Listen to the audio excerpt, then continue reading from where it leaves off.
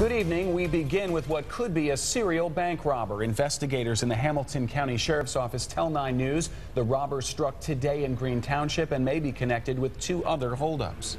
Right now, sheriff's deputies as well as Green Township police are searching the bank robber.